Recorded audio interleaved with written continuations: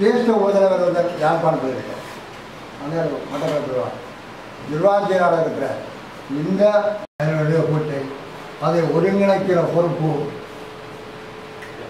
தேசிய உபதலைவர்களும் குருநாயகம் பகுதியில் உங்களுக்கு வேலையான நேரங்கள் கொண்டால் நாளைக்கு நாங்கள் அங்கே நன்றி வணக்கம்.